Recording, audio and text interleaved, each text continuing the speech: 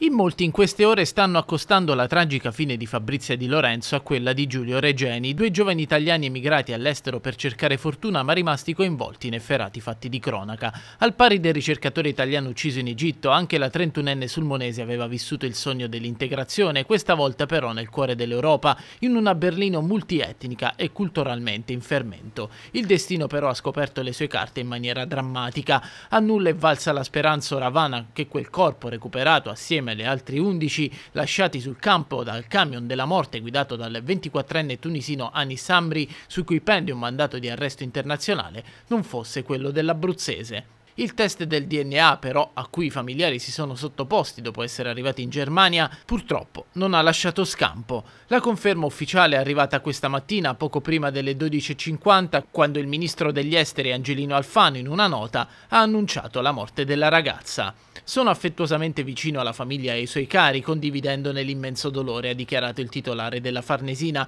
messaggio a cui fa eco quello del capo dello Stato Sergio Mattarella, che ha ricordato come, ancora una volta, una nostra giovane connazionale all'estero sia rimasta vittima della insensata ed esecrabile violenza del terrorismo.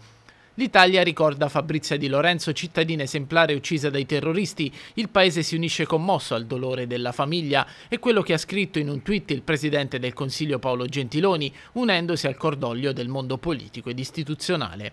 Accanto al lutto però non si placano le polemiche. Da un lato l'uscita infelice sui cervelli in fuga del ministro del lavoro Giuliano Poletti, dall'altro le critiche all'ex ministro degli interni Alfano perché Amri sarebbe partito dall'Italia dove ha scontato anche quattro anni di carcere carcere. Un ragazzo seguito dai servizi che potrebbe essersi radicalizzato proprio dietro le sbarre. Sulla testa di Amri c'è una taglia da 100.000 euro per chiunque riesca a fornire notizie utili alla cattura. Le ricerche si estendono in tutta Europa mentre Sulmona attende di riabbracciare per l'ultima volta la sua Fabrizia.